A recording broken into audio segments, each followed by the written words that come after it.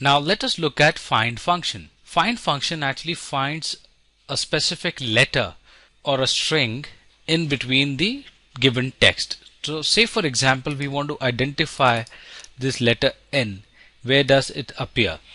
In this name Tony Davis. So let me write find and find text. So what text I want to identify? The text is N within which text?